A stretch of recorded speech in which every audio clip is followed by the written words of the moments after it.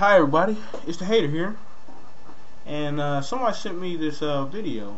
It's uh, Louis Armstrong singing "It's a Wonderful World." Obviously, I think they wanted me to say something bad, but I'm not, because Louis Armstrong, I'm a big Louis Armstrong fan. He's just a good singer. Uh, his voice, his personality, everything. Very likable guy. Sort of like.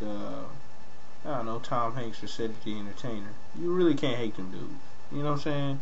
But uh, if you want me to say something bad, here you go. I hate the fact that Louis Armstrong wasn't born in my generation. So I could, I don't know, be able to be like, that's my peer right there. That's all I have to say. Maybe, maybe it's not a wonderful world for some people, but for me it is. Hater. I'll let him.